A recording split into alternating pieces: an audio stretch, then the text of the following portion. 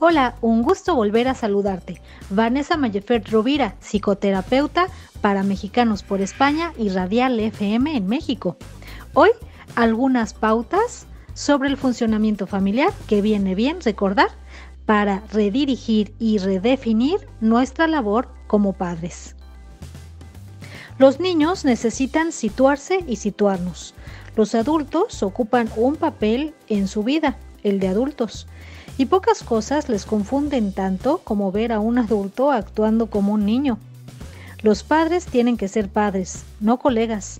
Tienen que asumir su papel y sus funciones, aunque a veces les cueste. Tienen que ser capaces de centrar a sus hijos, favorecer su pensamiento, razonamiento, sensibilidad, sociabilidad, su autocontrol y su afecto. Aunque a veces les suponga un esfuerzo importante, aunque en ocasiones los niños parezcan cerrarse a sus argumentos, aunque emocionalmente les resulte muy duro, pero tienen que conseguirlo y para ello se comportarán como adultos. Hablar, razonar y poner normas como adultos no implica colocarse en la superioridad entendida, en este caso, como atropellar, imponer u obligar. Hablar y razonar como adultos con la habilidad de la empatía, pero siendo firmes. Escucha, Intentar comprarles haciendo de buenos o poniéndonos siempre de su parte, en un principio es la postura más cómoda, aunque tarde o temprano siempre se vuelve en contra de quien la ejerce. Los niños tienen un sentido de la justicia muy acusado. Ellos desde muy pequeñitos son perfectamente conscientes de lo que es justo o injusto. De lo que no podemos pretender es que razonen cuando están enrabietados o cuando están intentando conseguir algo a toda costa. Pero ellos razonan y entienden muy bien cuando están tranquilos y en buena disposición.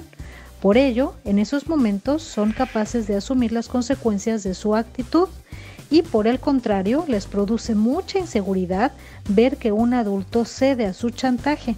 No comprenden cómo no se da cuenta de la trampa al final sienten la fragilidad y debilidad del adulto y se desesperan con ello, aunque se aprovechen en un primer momento.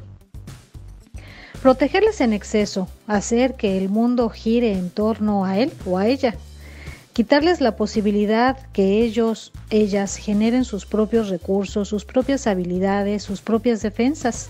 Es como cortarles las alas a los pájaros con el argumento de que así volarán mejor no es fácil el mundo en el que deben integrarse los niños de hoy, pero lo hacemos imposible cuando con nuestra forma de quererles les anulamos.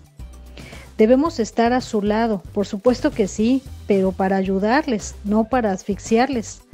Los niños y niñas tienen que vivir sus pequeñas crisis y eh, serán estas las que les permitan generar sus propios recursos, sus propias habilidades, sus propias salidas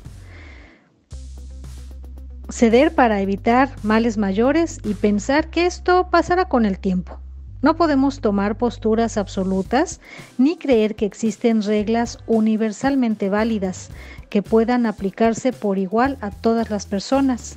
Nuestra actitud en gran medida dependerá y se adaptará a las peculiaridades de cada niño y niña. La mejor ayuda que podemos prestarles es nuestra tranquilidad ante su exigencia, nuestra seguridad ante su inestabilidad, nuestra firmeza ante su insistencia, nuestro afecto ante su agresividad, nuestra racionalidad ante su irracionalidad. ¿Qué te parece? Se escucha fácil, ¿cierto? ¿Lo llevas? ¿Lo pones en práctica? Sígueme en mis redes sociales, Conocer y Crecer o puedes ponerte en contacto conmigo en el 642-198-176. Cuídate mucho, un saludo, sigue disfrutando.